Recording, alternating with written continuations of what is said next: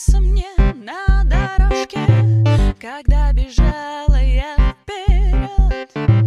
Ты губы так надул немножко, мне показалось, лопнешь вот-вот.